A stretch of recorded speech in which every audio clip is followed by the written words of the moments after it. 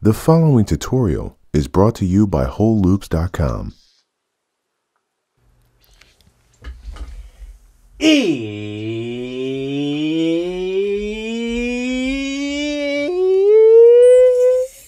production time. I'm Reid Stefan, realest puppet in the game. Today, we're producing a saucy trappy using Logic Pro X. And I like to jump right into my software instruments, so I have Omnisphere loaded up, and we're going to create. I'm going to jump to the Keyscape Creative Library. I really love these sounds. I actually just got this and have been exploring these. I love hitting this little shuffle knob. It just randomizes all the presets. That way, every time you use it, you hear something that you've pretty much never heard before.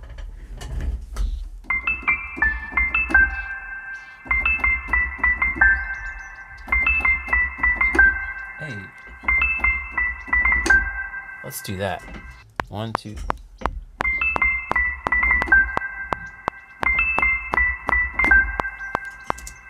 That's a nice little bounce to it. I don't like quantizing things 100% if I don't have to.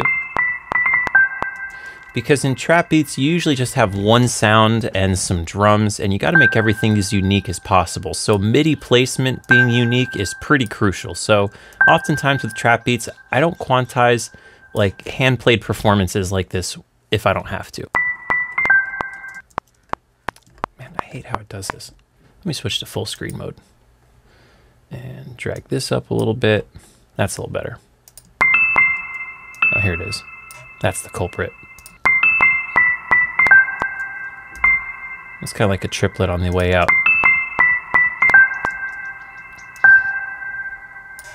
So maybe we'll grab these two and quantize these to an actual triplet just to make sure that we get the timing right. Strength. Hey, this is our starting loop.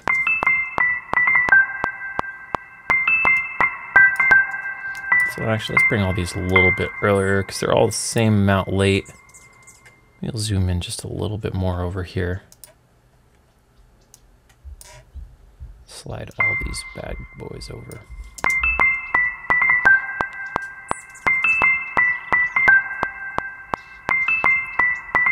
Hey, hey. Now to make this one part sound like two parts, I'm just to go in and load up Halftime by Cableguys. It's one of the most amazing plugins ever, and it's really cheap. And to bring some of that old sound back in, but just filtered. Hey, hey.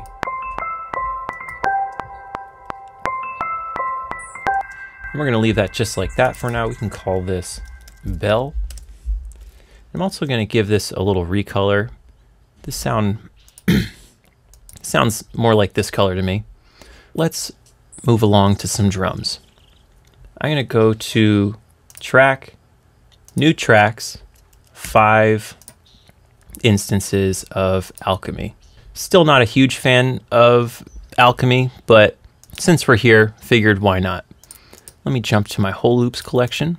I think I want a disrespectful 808. So I'm going to go to Urban Beats, disrespectful 808s, and let's we can drop this over here. That way it replaces that first one. And then we just got to drag tune all the way down. So middle C,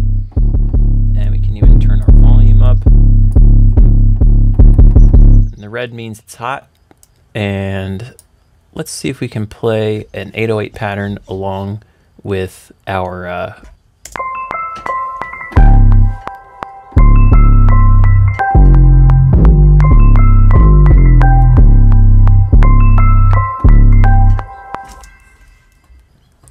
We can just call this 808 and we're going to leave it here. Let's go fill in the rest of our drum kit. I'm going to go find a kick.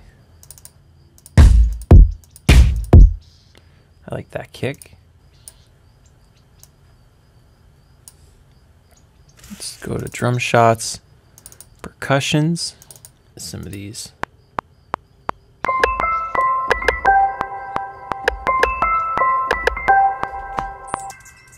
quick little loop like that. For these drums, I think I am actually going to quant... Oh, There we go. It. I almost had. There we go. Man, I find it almost impossible to use the grid in, in Logic. And I use most DAWs, and most of them are usable, but I just find Logic's to be next to impossible. That being said, we're going to go in and try and snap this MIDI to the grid. Oh, we have to zoom out. Why is it so zoomed in? Here we go. So I'm going to highlight all these and let's do eighth notes to at 100%. Maybe instead of that, we'll do a faster pattern like this.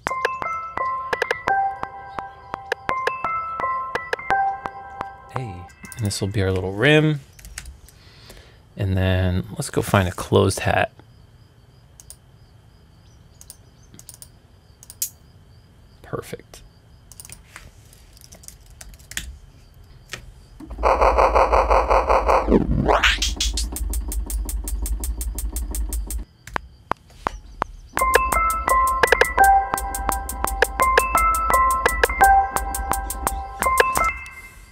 We're going to highlight all these.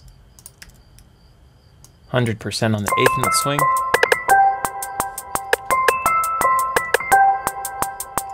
Let's put in a clap.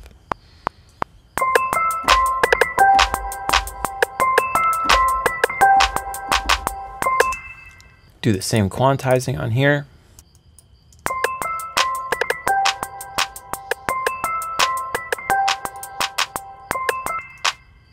On this velocity, maybe just turn these offbeat ones down a little bit.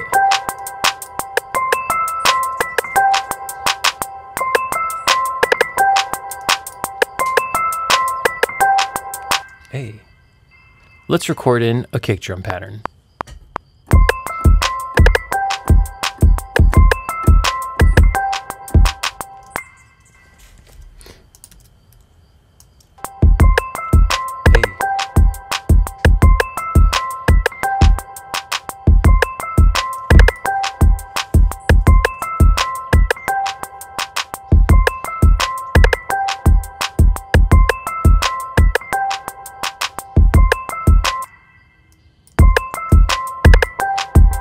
Turn the volume up on that a little bit.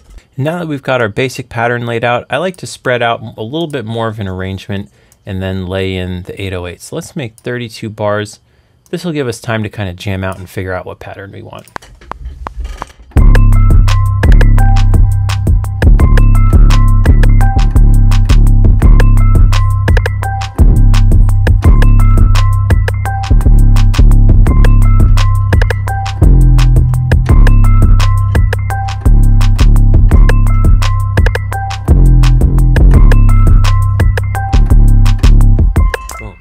Really like those last two measures. The way the 808 and kick bounced off of one of e- one another is perfect. Whoops.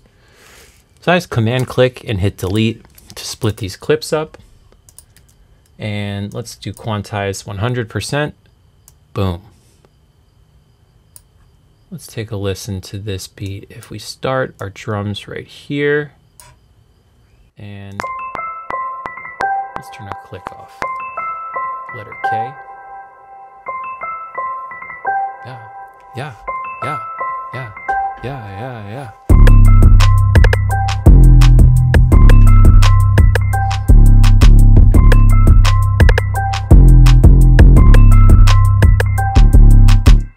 Now, little sauce tricks that I like to do are slide my hi-hats late a little bit. So to do that, we're just gonna zoom in and highlight everything and just the tiniest little slip over we can. Let's see how that sounds. Let's also move our loop region over to here. Too much. Let's try and split the difference. There we go. Maybe we can do the same thing with my rims. Just a little slide over. That way, all these overlapping hits aren't actually like overlapping with the transients. They're just on the same beat.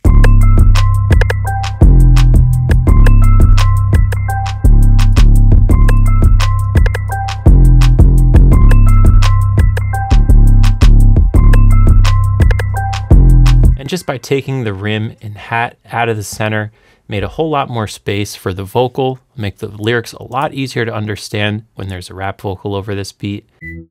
Are your vocals sounding a little weak sauce?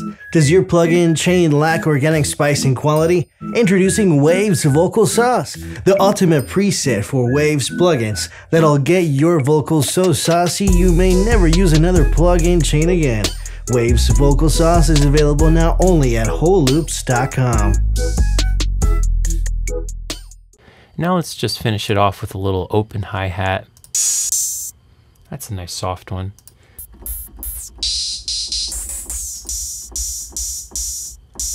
I kind of like picking whatever pitch sounds nice to me. I really don't care what the original pitch of the sample was.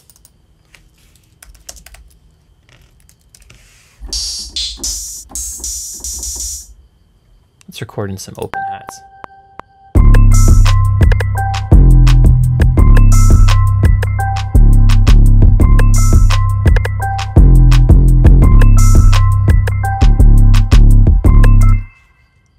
That feels like a hook element to me. So I'm not going to have this be the first thing you hear. Here to here, and this our hook. And now that we've got some more elements in our beat, let's go back to our original sound and see what we can automate to make it a little bit more interesting. One of my favorite things to automate is the mix knob inside a halftime. Boom. So we're going to start with it Actually, you know what? Instead of automating the mix knob first, let's automate the uh, split low.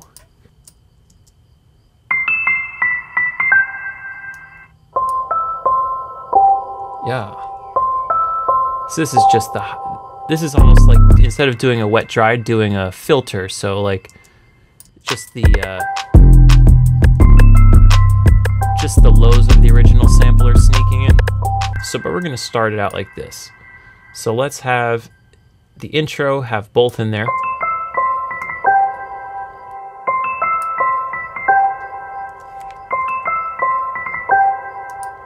And then right here, let's just to do like a little surprise switch up. Let's just have it go down like that. Hey. Yeah, yeah.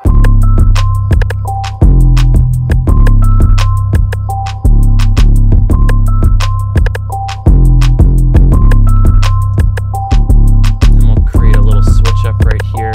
Do split. That way when this part comes in, the 808 mutes.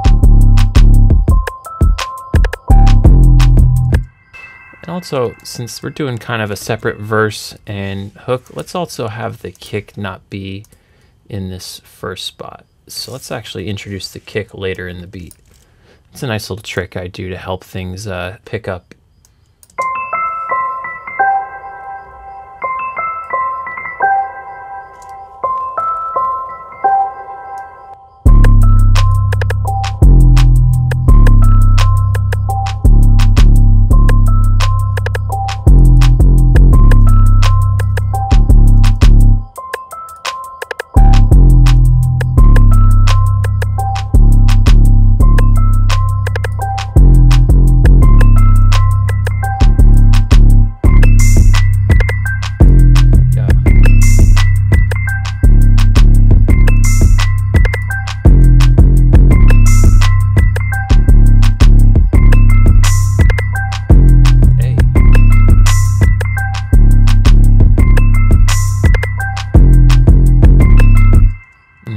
full cut on the beat right here. Just command click and delete. Actually, let's not do it there. Let's do it, let's do it just to here. Boom. Second half of that. And then back into it.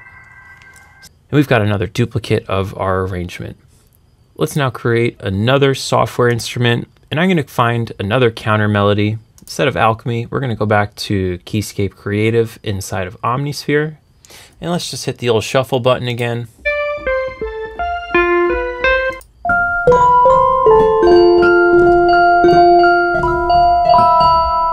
Cool. That's a nice little thing. I might just hold that chord down.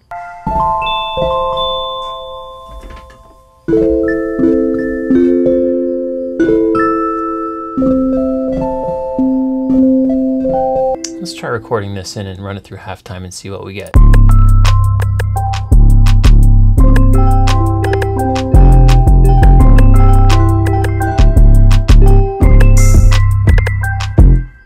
Let's give this a listen.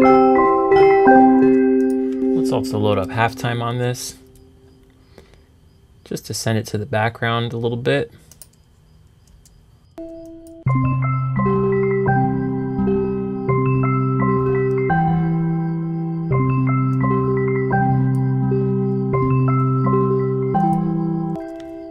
Actually edit the MIDI a little bit. I think I want to hear a different note.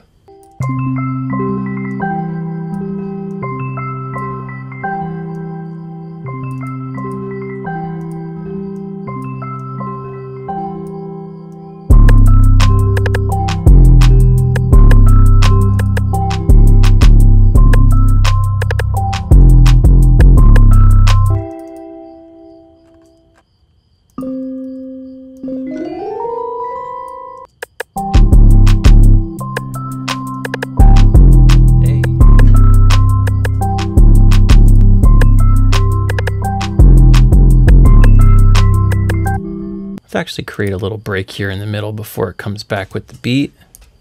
And let's just do a short one like this. And we'll drag these guys out.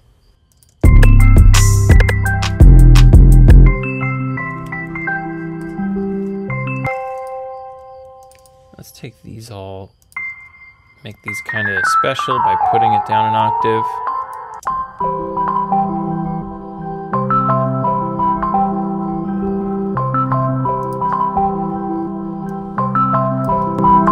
I might actually just leave that kind of lower tone vibe so that when it comes back with the hook, it feels like it goes up an octave. And then this is the beginning. Uh, let's actually just bring the clap and the hat out. And why not just do this too?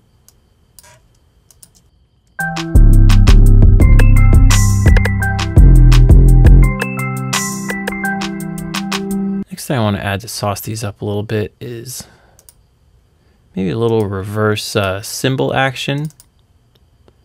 Go here to cymbals. This one's already backwards. Perfect. So I'm just going to drop this in there and turn this way down.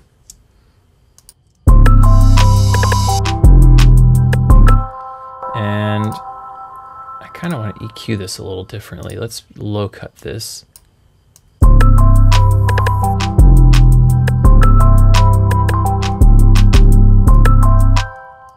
Grab four bars, Command C, paste it, paste it, paste it, paste it, Command V.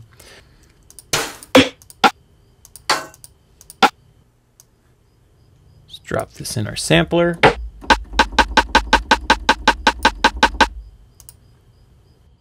Let's give our beat a play and see if we can record in some rim shots.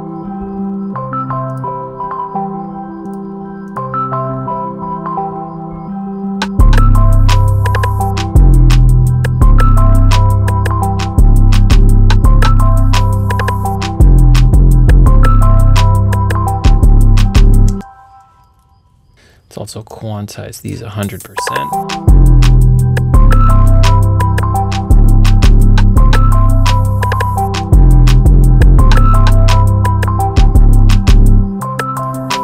Just paste that right over there.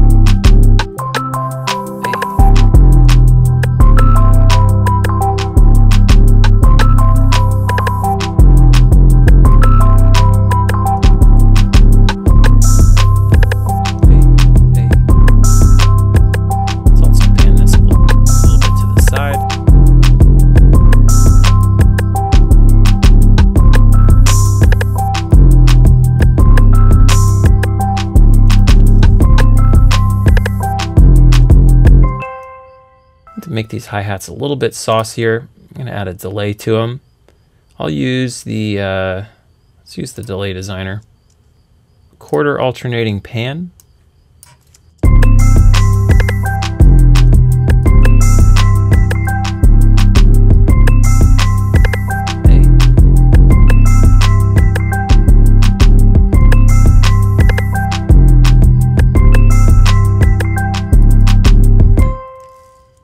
To uh, take this little high-pitched piano thing out of the center, I'm going to grab the Sound Toys Pan Man.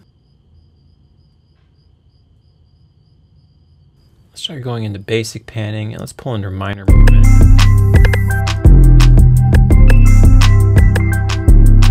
Let's turn quarter note up to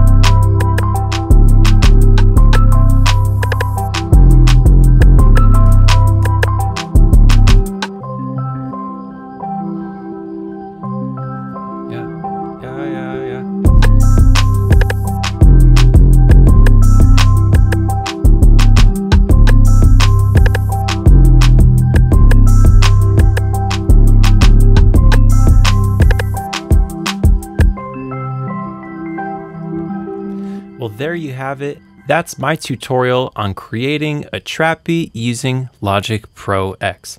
I hope you found the tips, tricks, and shortcuts in this tutorial useful. And if you want to check out all the drum samples used in this beat, you can visit the Urban Beats 3 collection at wholeloops.com. So thank you so much for watching, and I'll catch you guys next time with another video. Peace out.